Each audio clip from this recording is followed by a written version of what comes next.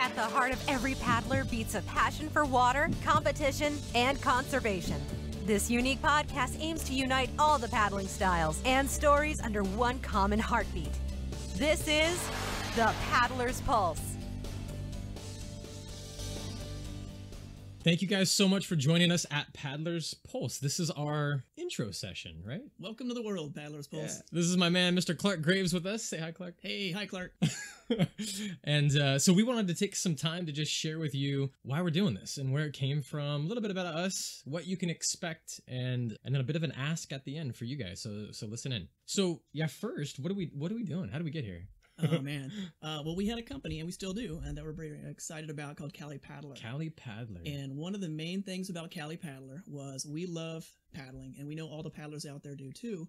Why not try to unite all those tribes out there? Whether you do stand up, outrigger, dragon boat, kayak, prone, surf ski, surf ski, it, they're all amazing. Yeah. And you and I have tried so many of them. Yeah. Um, and you more than me. I, am trying. I'm, I'm trying to. I'm trying to branch as much as I can. Yeah, but, this is uh, true. And but every time I do, I like it, and Yeah. I come back to great. You got to try surf ski. Totally true. I love your stories. Um, and so we're trying to get that stoke for each of those sports under one united tribe. Hmm. Um, and I think we've been pretty successful with Cali Paddler doing that.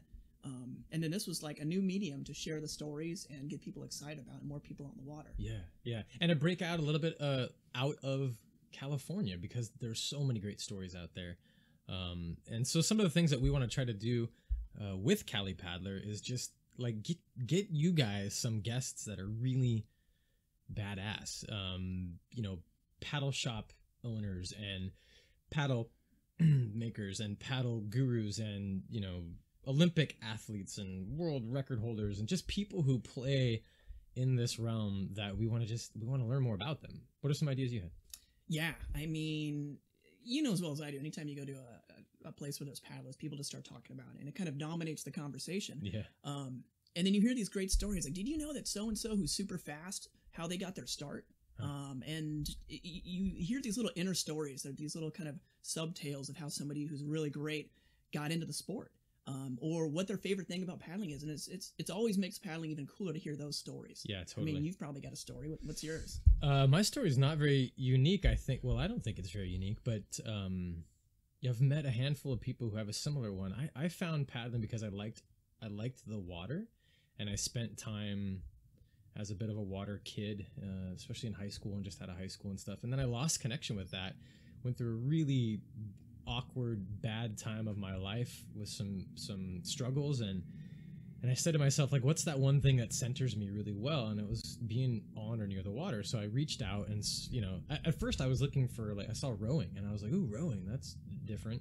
Um, but there was no non. I didn't know that. You didn't know that? No. There's no non collegiate, you know, like, it's no. So you had to, so I was like, well, I guess, you know. And then I found, I found Outrigger. I found, you know, OC6 Outrigger paddling and uh, went and checked out a couple clubs and completely fell in love. Had this moment like many people I've I've heard who just went, yeah, that's that thing I'm supposed to do, and I knew it, and it was so cool. Um, and then that's how I met you. yeah. Yeah. Through paddling. Yeah, through paddling. What was your story? Um, I, I gotta say, I I'd always been kind of curious um, about outrigger paddling. Paddle curious. Um, paddle curious, very. I, I come from a surfing background, and I was always out on the water surfing. Um, but it's a very individual sport. And then I uh, I went to Hawaii, and a person I met out there introduced me to the canoe that his club had, and I got to kind of check it out. And I was kind of curious about it. And then uh, my wife dances hula, and she showed up at a, a canoe club and did a hula dance for their end of the year barbecue. And I was again put in this position of looking at a canoe, and I'm like, this looks pretty cool. Man, that's a lot of like the universe throwing stuff in your It, way. it must have been. and, and so finally, I, I I heard that they had an intro paddle, and I jumped in. And uh, the the funny thing is, I showed up to the intro paddle, and we didn't paddle that day. oh. They introduced the canoes, they introduced all the cool things, and I was sitting there in my board shorts, ready and nervous, and excited. And I was so disappointed because we didn't actually get on the water that day. And I was like, "What do you mean we're not going to paddle?" Um, and but then the next day they had us come back for that, and I was immediately blown away. oh, sweet. Um, Do you remember the first seat you sat? No, Because we both started in Outrigger, so yeah, I'm guessing they probably put me up in one or two. Yeah, I was I was a total one or two. In fact, I think yeah, I think I was total one or two. That's awesome. And then uh, after Outrigger, uh, my wife was paddling stand up, and so I got to see how excited she was. Um, I was still surfing a lot though, and so Mm. stand up was something that um, she had, and I had surfing and paddling, and it wasn't until later that I realized that that was another fun paddle sport. Yeah. Um, but yeah, just being exposed to it here and there, um, seeing it on the water, and always been a little curious. That was kind of how I got my uh, my start with outrigger, and then just honestly, every time I saw different paddlecraft, I wanted to try it. Yeah. And then I was so excited about it. I'd come home like, oh my god, I found my new love. Never mind Did- that I absolutely love the other ones. Yeah, and did you have anywhere near enough room in the garage for all those toys? I need to upgrade to this day. uh, that's probably a problem a lot of people have. Yeah, Yeah. we, we we could probably do a whole episode of creative solutions of buying new crafts. yeah. Instead of people putting uh, solar on their roof, they have like racks for OC ones and twos and surf skis and sups and yeah, um, yeah, it's awesome though. So yeah, that, that's a little bit about us. I know that every see, I'm excited because even the people who you know have iconic names in this industry, they started somewhere like us. Yeah. I mean that's and we're gonna we're gonna draw out all those stories, and those are gonna be so much fun to tell um, to our our growing tribe. So um, speaking of guests, like who I mean, we're, who who do we have on deck that we're gonna try to like get in here so we can get some good convo? Um, well, without giving uh, That's my that's my fancy phrase, by the way, convo. convo. Yeah, okay, I don't know. Means. Uh, we I mean, without giving actual specific names, Yeah, to wanna have protect the some, innocent. Uh, well, we don't want to ruin our uh, surprises, but Yeah. uh, we got some coaches. Uh, Mhm. we've got some physical trainers who are well versed in uh, caring for your body and making you absolutely a rad athlete.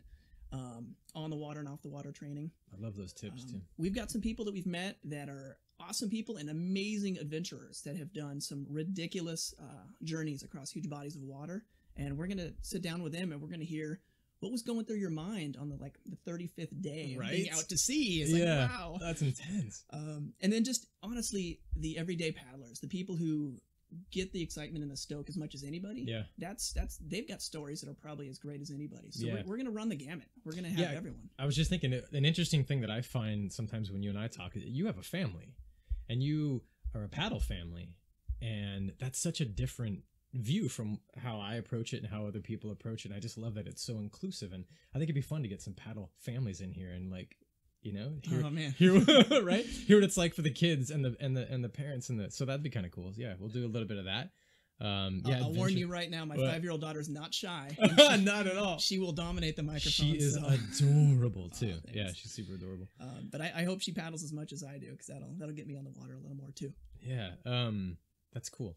And so, yeah, we're also going to look into some deeper um, history of paddling. So, people who have brought this sport um, to all of our front doors, or I guess to our garages, or what you know, however we approach it. So, um, and that's iconic in so many ways. We're going to talk a little bit about the history, where where a lot of paddling sports came from, um, how they got to the mainland, I would guess, and uh, how it spread from there, and the people who have kind of helped champion that um, that mission, probably unknowingly at the time, they didn't even know they were doing it. Yeah, and I, I'm pretty sure that the people that uh, we want to hear from the most that we're going to be talking to are probably some of the most humble people. So Oh, we're yeah. going to be kind of pulling them towards the and shoving a mic in their face and saying, like- "What's that time when you?" But they're good stories. You and I have heard them kind of off. Yeah, they're Yeah, good we've been lucky uh, to hear some of these stories, and that's what I'm excited about. Is I want to I want to hear these stories told to everybody Right. um, because they they're the stories that why we have paddling as we do now. Yeah.